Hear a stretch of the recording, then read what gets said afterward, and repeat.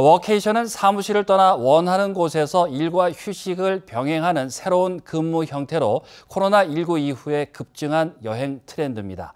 경북형 워케이션은 풍부한 문화자원과 연계해 반응이 좋은데요. 한 발 더 나아가서 생활 인구로 연착륙시키는 시도도 이루어지고 있습니다. 엄지원 기자입니다. 문경의 한 고택. 텐마루에 앉은 여성이 소반 위에 노트북을 펴고 일하고 있습니다. 한편에선 빗소리를 들으며 그저 멍하니 생각을 비웁니다. 빌딩 숲을 떠나 워케이션 중인 직장인들입니다. 일단 refresh 되는 그 기분이 제일 좋고요. 내가 좀 좋은 환경에서 좋은 숙소에서 이런 업무를 할 수 있다는 것 자체가 되게 새로운 경험이고 기회인 것 같아서 좋아요. 열띤 회의를 진행하다가도 다도 수업을 들으면서 차 한 잔의 여유를 갖고 가은역 아자개 장터 등 주변 관광지를 거닐며 잠시 여행객이 돼봅니다. 경북은 지난해 6월부터 도내 다섯 곳에서 워케이션 상품을 판매하고 있습니다. 경주와 포항은 역사 해양 자원을 활용한 호텔형으로 대기업과 가족 동반형 워케이션을, 문경 안동은 프리랜서 등을 위한 독채 스테이, 의성은 프로젝트 목적의 기업 워크숍의 특색을 살린 워케이션 프로그램을 운영 중입니다. 경상북도가 숙박비, 교통비, 여행자 보험 등을 지원하는데 지난해 2,200여 명이 다녀갔습니다. 도가 최근 문체부 공모에 선정되면서 내년 울진에 워케이션 거점 센터가 설립되고 프리다이빙 등 해양 스포츠를 즐기는 워케이션 프로그램이 운영될 계획입니다. 나아가 워케이션을 통해 지역 이주와 정착을 연착륙시켜 체류 인구를 늘리고자 하는 시도도 일어나고 있습니다. 마당 깊이 볕이 드리운 오후 한때 처마 아래 청년들이 모여 앉아 저마다의 봄을 즐깁니다.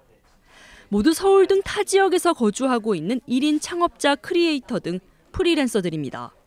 2주간 숙박비, 식비 일체를 지원받는 대신 안동 곳곳을 다니며 로컬 콘텐츠를 제작하고 지역 정착 가능성을 엿봅니다. 노트북만 있으면 어디서든 일할 수 있는 환경이 조성이 될 수 있는 분들을 여기에 모셔온다면 이 안동에 정착을 고민해 볼 수도 있고 그리고 어, 더 나아가서 안동에서 창업을 해서 어떤 일들을 더 할 수 있을 거라는 그런 가능성을 찾아보는 어디서든 일할 수 있는 디지털 노마드 시대. 공간의 이동은 새로운 영감을 더합니다.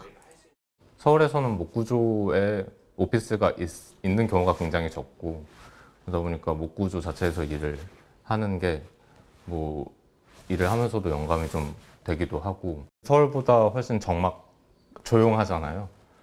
뭐 제빗소리도 들리고 잠시 지역살이를 상상해 보지만 아직은 낯설고 불편한 게 솔직한 심정입니다. 저는 일단 기본적으로 시골 베이스를 좋아하는 사람이라서 저는 개인적으로 뭐 번화가보다는 이런 동네를 더 선호해서 교통 쪽이 많이 좋아지면 더 많이 들어오지 않을까 싶기도 하고요.